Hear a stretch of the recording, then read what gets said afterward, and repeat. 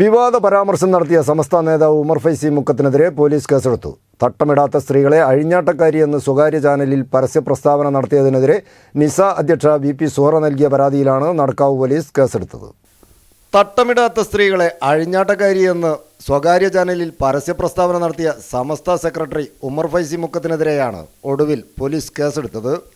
നടക്കാവ് പോലീസാണ് Umar ഫൈസിക്കെതിരെ case charge ചെയ്തത്. നിസ അധ്യക്ഷ വി പി സുഹറ നൽകിയ പരാതിയിലാണ് കേസ്. മതസ്പർദ്ധ സൃഷ്ടിച്ചു. മതവികാരം വ്രണപ്പെടുത്തി തുടങ്ങിയ കുറ്റങ്ങൾ ചുമത്തി ഐ പി സി ഇരുന്നൂറ്റി തൊണ്ണൂറ്റഞ്ച് എ ഇരുന്നൂറ്റി തൊണ്ണൂറ്റെട്ട് എന്നീ വകുപ്പുകൾ പ്രകാരമാണ് കേസ്. ദിവസങ്ങൾക്ക് മുൻപാണ് പരാതി നൽകിയതെങ്കിലും ഇപ്പോഴാണ് പോലീസ് കേസ് രജിസ്റ്റർ ചെയ്തത്. സി പി ഐ എം സംസ്ഥാന സമിതി അംഗം അനിൽകുമാർ നടത്തിയ പ്രസ്താവനയുമായി ബന്ധപ്പെട്ട് ചാനൽ ചർച്ചയിൽ പങ്കെടുക്കുമ്പോഴാണ് ഉമർ ഫൈസി മുക്കം വിവാദ പ്രസ്താവന നടത്തിയിരുന്നത്.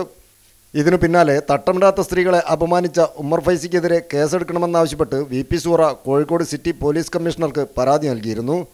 ഇസ്ലാമിനെയും മുസ്ലിം വിശ്വാസികളെയും മുസ്ലിം സ്ത്രീകളെയും അപകീർത്തിപ്പെടുത്തുന്ന പരാമർശമാണ് ഉമർ ഫൈസി നടത്തിയതെന്നും പരാതിയിൽ പറഞ്ഞിരുന്നു. സമസ്ത നേതാവിന്റെ പ്രസ്താവനയിൽ പ്രതിഷേധം പ്രകടിപ്പിച്ച് നല്ലളം ഗവൺമെന്റ് ഹൈസ്കൂളിൽ നടന്ന കുടുംബശ്രീയുടെ തിരികെ സ്കൂളിലേക്ക് പരിപാടിക്കിടെ പ്രസംഗത്തിനിടയിൽ വി പി സൂറ തട്ടവും മാറ്റിയിരുന്നു. ഇതേ തുടർന്ന് വേദിയിൽ school P T A president Shahul Ameed ഇവർക്കെതിരെ പ്രതിഷേധിക്കുകയും വിമർശിക്കുകയും ചെയ്തിരുന്നു. ഇതോടെ കുടുംബശ്രീ അംഗങ്ങളും സോറയ്ക്കെതിരെ പ്രതിഷേധിച്ചതോടെ പരിപാടിയിൽ നിന്ന് അവർക്ക് പിന്മാറേണ്ടിയും വന്നു. തുടർന്ന് P T A president Shahul ഹമീദിനെതിരെ അവർ നല്ലം പോലീസിൽ പരാതിയും നൽകിയിരുന്നു. ന്യൂസ് ഡെസ്ക് സി പ്രാദേശിക വാർത്ത.